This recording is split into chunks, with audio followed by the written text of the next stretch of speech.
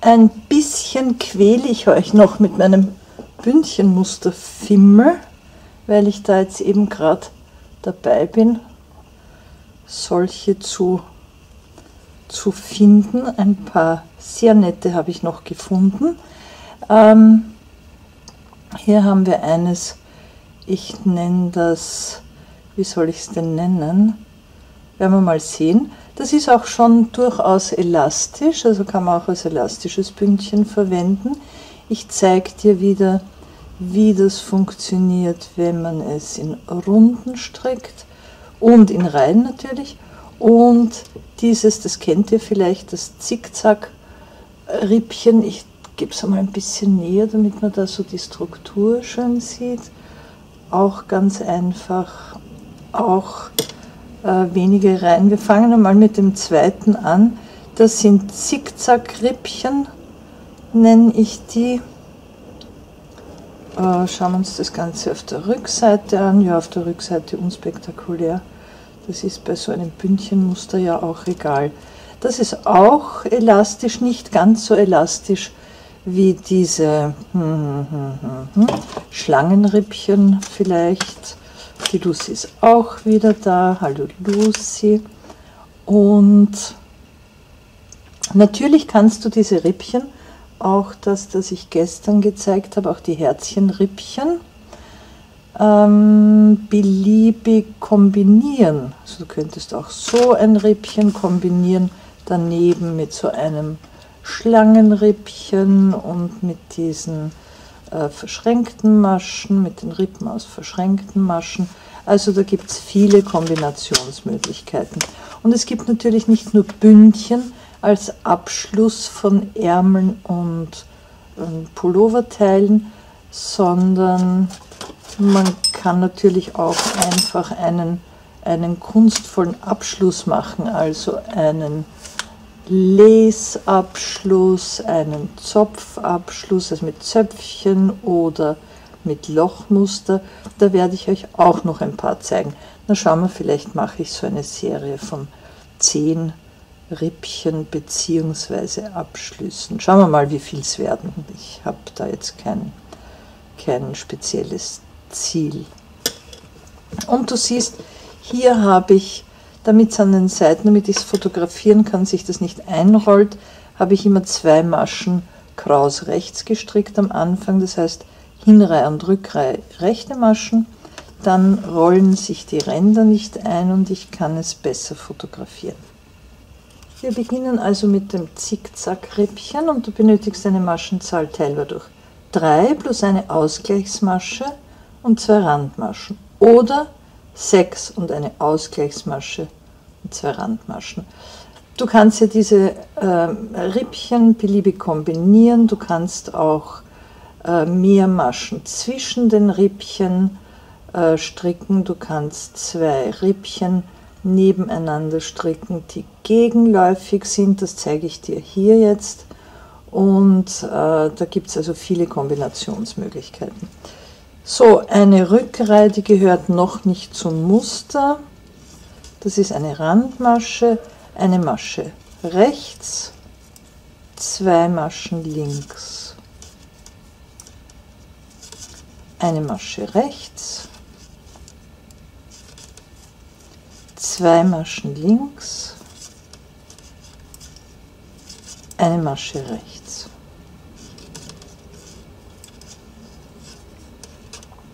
So, und nun es gibt nur zwei Mustereien, eine Randmasche, eine Masche links und die nächsten beiden Maschen werden verkreuzt.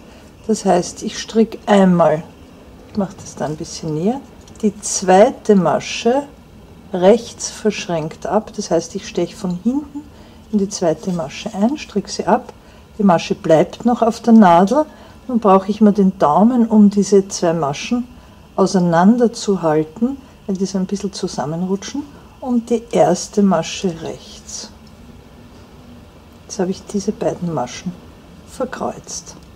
Und zwar nach links verkreuzt, wie man da, glaube ich, schön sieht. Eine Masche links, die nächsten zwei Maschen möchte ich nach rechts verkreuzen. Das heißt, ich hebe die zweite Masche ein bisschen an, stricke sie rechts ab, die bleibt noch auf der Nadel und jetzt stricke ich die erste Masche rechts ab. Diese zwei Maschen habe ich nun nach rechts verkreuzt.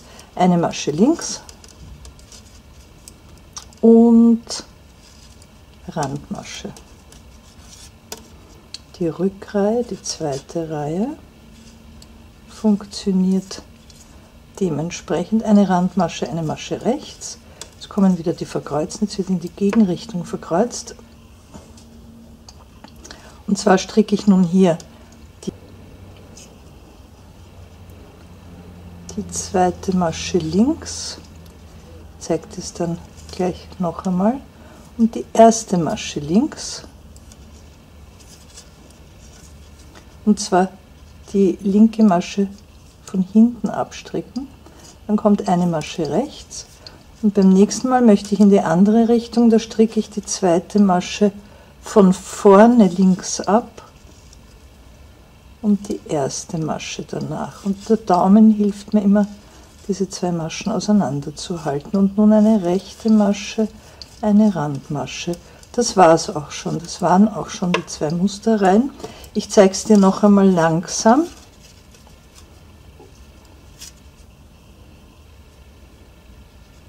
Ja, das sieht man schon sehr schön, wie sich da diese, diese Rippchen schlängeln. Randmasche. Also das ist schon die Wiederholung. Das heißt, es hat nur zwei Reihen. Randmasche, eine Masche links. Jetzt möchte ich, ich habe zuletzt nach rechts, gegen die Neigung nach rechts, jetzt möchte ich sie nach links haben. Das heißt, ich ich steche von hinten ein, die zweite Masche rechts abstricken, die Maschen ein bisschen auseinanderhalten, die erste Masche rechts abstricken. Jetzt neigt sich die nach links. Eine Masche links und bei der nächsten von vorne die erste Masche bisschen anheben, rechts abstricken und die erste Masche rechts abstricken und eine Masche links.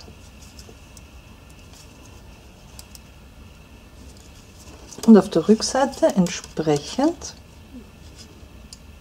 da soll sich das alles wieder in die Gegenrichtung neigen, eine Randmasche, eine Masche. Rechts, die zweite Masche. Links, das heißt du nimmst den Arbeitsfaden vor die Nadel, stichst von hinten in die linke Masche ein, du musst da jetzt die Nadel herumfädeln um die Masche und die erste Masche links abstricken. Und eine Masche rechts beim zweiten Mal in die Gegenrichtung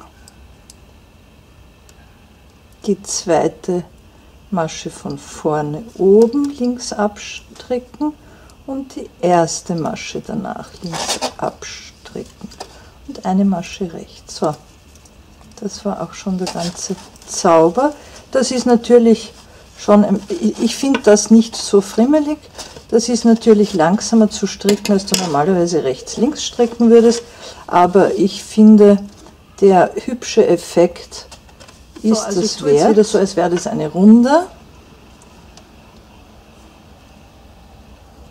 Und zeig dir, was wir machen, ist einfach Zopfen mit zwei Maschen ohne Hilfsnadeln.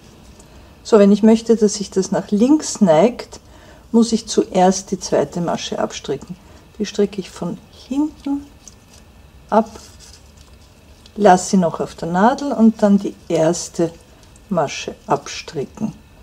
Da mache ich sie in die Gegenrichtung, das heißt ich stricke von vorne die zweite Masche zuerst ab, hebe sie ein bisschen an, stricke sie ab und dann die erste Masche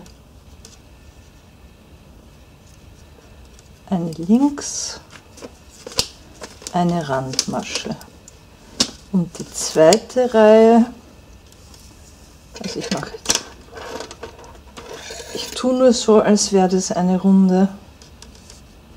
Lass da hinten einen Spannfaden, damit ich dir das zeigen kann.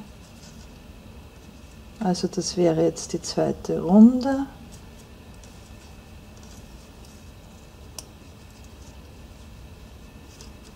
Eine Masche links. Jetzt soll sich's nach rechts neigen, das heißt, ich stricke die zweite Masche von vorne oben zuerst ab, anheben, abstricken und danach die erste Masche abstricken. Eine Masche links und da soll sich nach rechts neigen. Das heißt, ich stricke die zweite Masche zuerst von hinten ab, die erste Masche von vorne, ganz normal, und eine Masche links. Das ist es auch schon, schon erledigt. So. Und wenn du mehr davon strickst, so, da hast du deine Rippchen, du kannst mehr Zwischenmaschen arbeiten, also du kannst zwei linke, drei linke Maschen, wenn die Rippchen weiter auseinanderrücken sollen. Und du siehst, das ist auch ein elastisches Bündchen, nicht so elastisch wie das Bündchen, das ich dir dann als im nächsten Video, im Sonntagsvideo zeige. Im Sonntagsvideo machen wir dann dieses. Das hat auch so Spiralen, allerdings mit Löchern. Es ist ein kleines Lace-Muster, wenn man so möchte. Und das heutige Muster ist das Zickzack-Rippchen. Viel Freude damit.